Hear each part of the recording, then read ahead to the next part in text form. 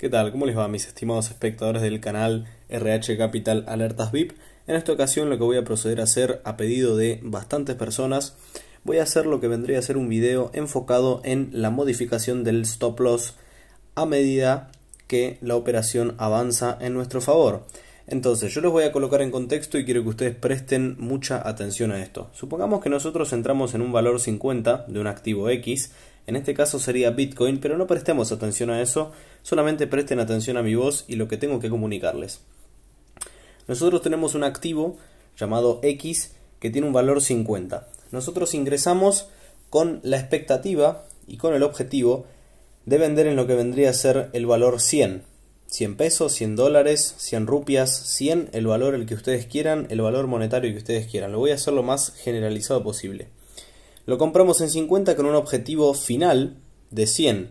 ¿Y qué significa final? Significa que tenemos otros targets antes. O sea, el 100 vendría a ser nuestro target número 3, que es el que podría llegar a figurar en lo que vendría a ser este, básicamente eh, en el mensaje de la alerta convencional que enviamos todos los días o casi todos los días. ¿sí? Entonces, los otros targets pueden ser en 60, pueden ser en 80 y finalmente es el 100, que es el target número 3. Vamos a suponer que nosotros ingresamos en el valor 50 y nuestro precio ya se encuentra en 60. Nosotros lo que vamos a hacer es directamente ir asegurando un poquitito, lo vamos a mover hacia nuestro punto de ingreso. Entonces, ¿qué es lo que yo voy a proceder a hacer ahora? Voy a proceder a colocar básicamente un costo de 25.22. Fíjense que yo muevo esta barrita, después tenemos el TPSL, el Reduce Only, pero fíjense debajo qué es lo que dice, dice Max y dice costo. Ustedes se tienen que enfocar en donde dice costo. Ustedes si quieren colocar 100 dólares, lo que van a hacer es lo van a arrastrar y van a colocar 100 dólares de esta manera. En este caso, el capital que yo tengo en la billetera de futuros estaría representando este, un 95% de lo que yo quiero poner aquí. Entonces yo voy a colocar simplemente lo que me permite operar Bitcoin, que es aproximadamente unos 60 y pico dólares, ¿sí? Entonces, ¿qué es lo que voy a hacer? En este caso yo voy a entrar a mercado, que aquí es lo importante esto, eh, esto no me interesa saberlo, lo que nosotros tenemos que saber es que yo esto lo estoy haciendo en un caso hipotético, por lo tanto ustedes van a tener que entrar con limit order, lo que yo hago en market order no tiene que ser replicado, no hagan eso, es un error porque además de estar pagando más comisiones le van a ingresar las órdenes en un precio que es cualquier cosa, ¿se entiende? Por lo tanto, utilizan limit order, esto lo hago para el caso del ejemplo para que no tarde mucho en ingresar la orden, ¿se entiende? Para que me ubique en cualquier precio. Ahora, yo voy a colocar un take profit y un stop loss determinado que lo voy a tener puesto en la alerta. ¿Qué es lo que yo voy a hacer con esta opción? Voy a colocar en take profit, voy a colocar el último target que yo tengo puesto dentro de la alerta Después, el stop loss es el que yo tengo que colocar, el que está mencionado en la alerta. Pero a ver, voy a hacer un pequeño paréntesis aquí.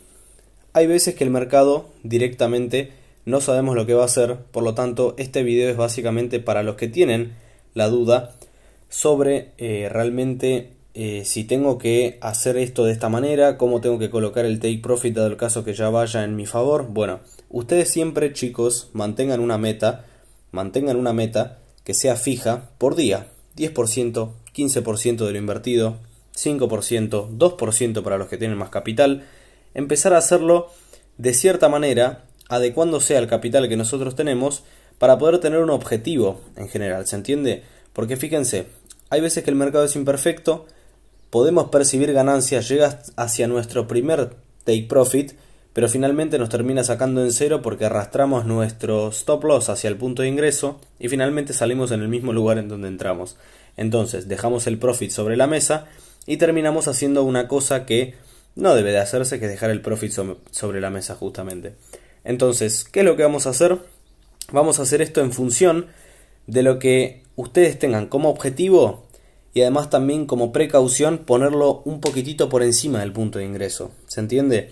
No vamos a dejar lo que nos saque en cero, por lo menos que salgamos en una posición ventajosa, ¿sí? Así que les vuelvo a repetir, a la izquierda van a poner en la parte del take profit, van a colocar el último target que está mencionado dentro de eh, la alerta que fue enviada, ¿se entiende? Después, a la izquierda vamos a poner el stop loss, que es el que está mencionado. Recuerden, take profit, el último le ponemos, el tercer take profit que tiene la operativa, el tercero. Y ahora van a saber por qué. Stop loss, el, el que tenemos ahí, el único que está. Entonces, ¿qué es lo que yo voy a proceder a hacer? Como no puedo saber en qué precio, porque lo que yo estaba usando es un ejemplo, dentro en 50, y bueno, ya saben, lo que voy a hacer es, voy a proceder a colocar mi orden en 59 y voy a realizar la compra, ¿sí? Yo ya estoy en posiciones acá. Fíjense que yo ya estoy en posiciones. No me interesa la pérdida, no se fijen en absolutamente nada. Esto es simplemente un ejemplo. Acabo de comprar, hice un long. Fíjense que mi margin es de 59.03. Este 294 el tamaño de básicamente la operativa. ¿Qué es lo que yo voy a proceder a hacer ahora? Voy a poner en stop profit and loss me voy a ir, o sea, el botón del medio, de aquí, de esta operación, botón del medio, donde dice Stop Profit y Loss, botón del medio de nuevo. Me voy a ir hacia el apartado TP barra SL de posición, o sea, no esta plantilla, sino que la siguiente. Y aquí lo que yo voy a colocar es, acá seguramente yo ya voy a tener mi último Take Profit puesto, el de la alerta, y el Stop Loss, lo que yo voy a hacer es, lo voy a ir arrastrando a medida que vaya subiendo el precio lo voy a ir arrastrando. Entonces, lo que yo tengo aquí es que no se me cruza con el take profit, básicamente el último target, mm, el último target va a tener el precio del take profit. Entonces, cuando yo lo vaya moviendo hacia arriba, no va a haber forma en el que el stop loss se cruce con la orden del take profit, ¿se entiende? Porque, por ejemplo, podemos tener la orden take profit en el primer target, supongamos, y cuando queremos mover el stop loss, lo que termina pasando es que nuestra orden es igual a la del take profit, entonces no tiene sentido.